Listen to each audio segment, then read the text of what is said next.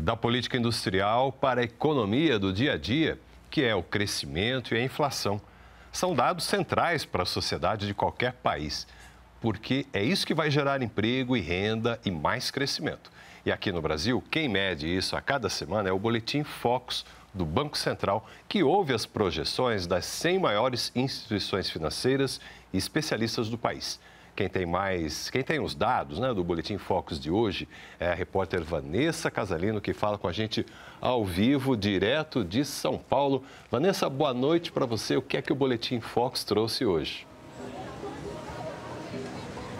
Oi, Roberto, boa noite. Boa noite a você que está com a gente. Os economistas ouvidos pelo Banco Central revisaram para cima a projeção de crescimento para o país agora em 2024 de 1,59% para 1,60%. E revisaram para baixo a estimativa de inflação para este ano de 3,87% para 3,86%.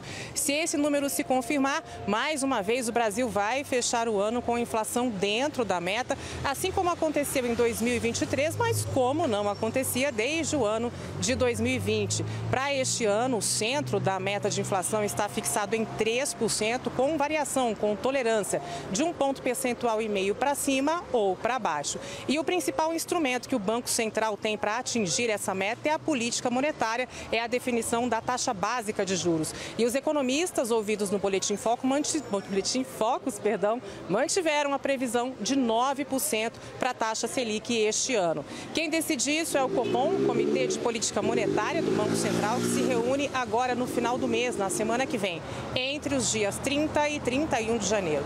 E a expectativa, Roberto, é de um corte de meio ponto percentual, como o Banco Central já vinha fazendo, sinalizou que deve fazer e como espera também o mercado financeiro, Roberto. Tá ótimo, Vanessa. Boas projeções aí, né? Obrigado pela sua participação. Uma boa noite.